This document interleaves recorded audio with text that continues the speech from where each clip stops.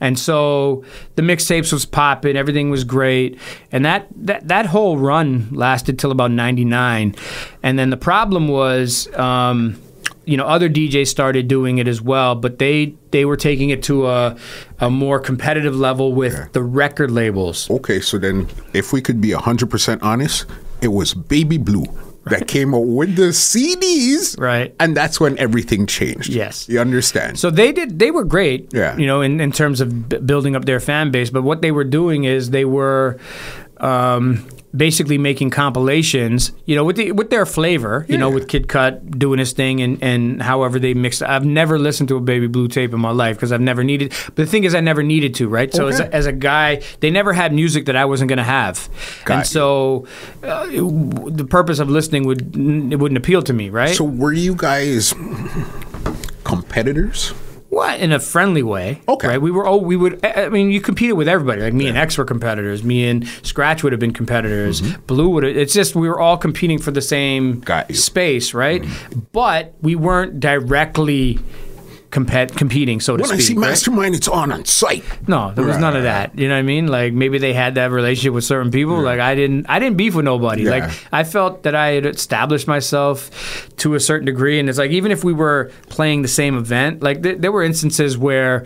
Um, you know, DJs would catch feelings because they're supposed to be the undercard or you know, the headline or whatever, and I'm like, they would get on, and they want to spin all the records and blah blah. I'm like, yo, B, I catch the same check at the end of the day. Mm-hmm. If you want to go shine and wreck the party because, you know, when 12 o'clock comes around, I'm not gonna play. Yeah. If you spun every tune, I'll be like, keep going. Mm-hmm. I'm good. And then you're gonna have to deal with the promoter because I'll tell the promoter, I'd be like, this was the warm up guy, and look what he did. Yeah. You know what I mean? And for me, I wasn't a um, open format guy. Like when you look at crews like Blue, Yeah. you know they had an in-house soca guy and reggae guy. They had their R and B guy and their hip hop guy. I was pretty much a hip hop R and B guy. Yeah. So if I got booked for a party, that's why I was supposed to be there. Whereas you know you look at a, you look at a genius like Scratch who can play every genre of music. So he could literally play from door open Mm-hmm. Yeah. to party done, and no one else would really have to touch a turntable. Crazy. Um, mind you, that's not how it worked back then. He actually, you know, like Red Flame would be there, King Turbo would be there, or whatever, and they would, it, we would switch it out. But Mark is the type of guy that he could literally do it do it on his own. And so yeah, so going back to the mixtapes, Blue started making CDs. Yeah. And so the problem with that is you're going from a medium that, you know, record labels don't quite feel you're you're encroaching on their territory Yeah. to now putting out CD quality music that is now not being licensed and consumers are gravitating towards this because it's dope Yeah. but you know, because those guys were like record labels at the time. All they cared about was dance music compilations and house compilations. Okay. They weren't putting out hip hop compilations. They weren't putting out, you know, uh, they weren't finding the Canadian guys to put hip hop together and doing licensing and stuff. It was, you know, Much Music Volume Four, and it was Yes. Chris Sheppard and MC Mario and guys like that, right? And so Blue came out. They started doing these mixtapes, and, and good for them. They got, got a name for themselves. People are hyped about them. They start going into HMVs and start saying, "Hey, you got, you guys sell the Baby Blue tape." Then what happens is the HMV guys then go to the record labels and say, "Yo, people keep coming in here and asking about Baby Blue," and now you've put it on the, the record label radar. Yeah. And that's when the record labels are like investigating. And then they're like yo you guys are putting out cds and you're not licensing. And then the much musics and all the people that actually have to pay for licensing they're like well how come they can do it and and sell this stuff and we have to pay and blah blah so it turned into a big shit show.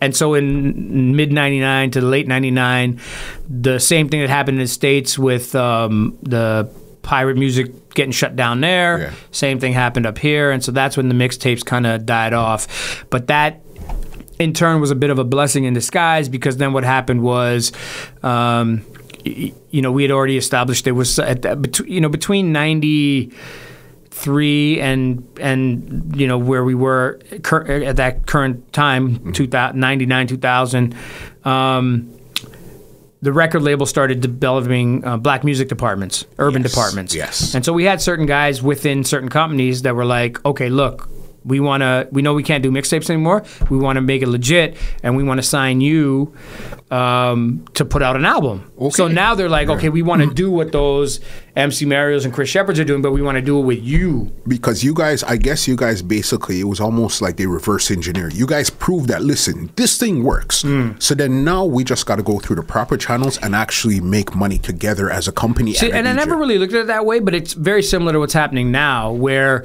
there's artists that are out here using all the tools available to them via the internet and social media, Mm-hmm. already creating a fan base and a hype, and then a record label comes along and says, "Okay, you have something. Yeah. We can help you take it to the next level. Let's do it together." Yes. Right? Hey, hey. Right. Yeah. They have the machine to push you through. Right. And so very similar to, you know, that concept is what, you know, Virgin EMI, mm-hmm. who eventually is who I signed with, they that was their idea. So they were going to sign Blue to do the the poppier R&B, not poppier, but the jiggy the jiggy stuff, and then I was going to be the hip hop guy. Yeah. And then we would just license the music uh, just like everybody else and we would put these albums out. You know, what happened was um, Universal offered Blue a, a, a, a nicer deal, I guess, or something, and they kind of snaked Virgin EMI. Yeah. And instead of signing with Virgin EMI, they went with Universal. And then what happened was, um, and Universal had a huge um, catalog for urban music, right? This is Universal we're talking about, We're yeah. talking about 99, Mm. you know, Universal Music. If you go back to them days, they had a huge, huge chunk of urban music. Yeah. And as much as you had Sony as well, and you had, you know, Warner and you had Virgin, Universal really was the top of the pile there. Mm-hmm. And they refused to license any music to us because and now we're competing. Yeah. They have a black urban compilation they're going to put out, and Virgin has a black urban compilation that they're going to put out.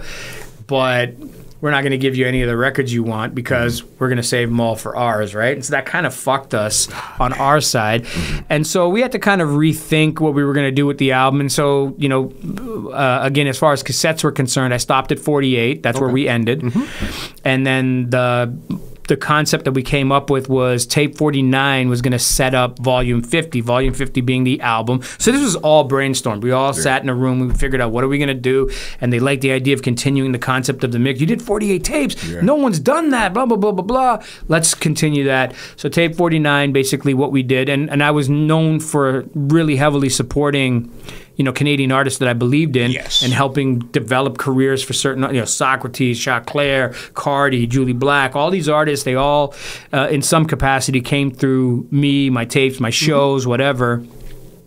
And so the concept for tape 49 it was called the setup and we basically got the cream of the crop of uh, Canadian hip hop artists at the time, and we had them freestyle over uh, over beats that we had access to. Okay. And um, put out a, a, a tape of 20 tracks or uh, I don't remember how many. But that is in and of itself. People talk to me like they. That's an iconic kind Beyond. of mixtape, right? So This podcast is brought to you by www.twolinedmusichut.com.